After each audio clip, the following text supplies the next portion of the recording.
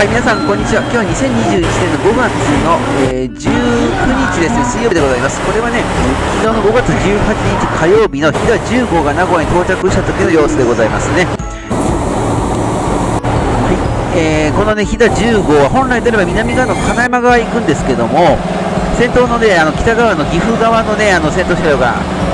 ヘッドライトついております。そちらにね入線していったということでございます。ちょっとねいつもと違うのか、えー、その日だけ違うのかその日から変わったのかちょっと分かりませんけどもね。今これがね特急南紀1号でございますね。紀伊勝浦に向けて出発でございます。ちょっとねあの画面が見にくかったんでしょう。すいません。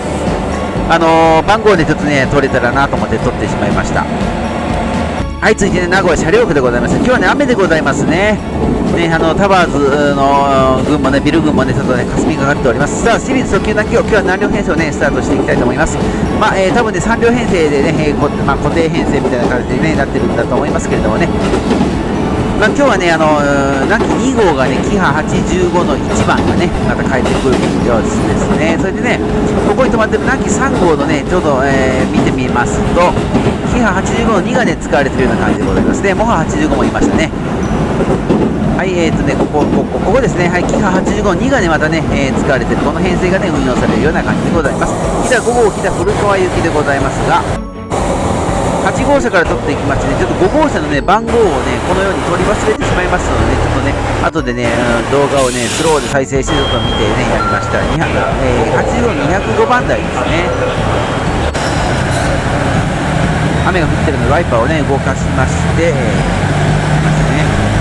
今日平日ですのでねあの工事をしている方がいますので、ね、その方への注意喚起でございますね。はいいつもの4両編成で、えー、行っていきましたね。はいそんなことでね続いてね南紀2号が到着をします。その2号の撮影で終わりでございますがえ2号についてはね、キハ85の1、それがね、あの連結されているはずでございますのでね、それをね、ちょっと確認したかったところでございます。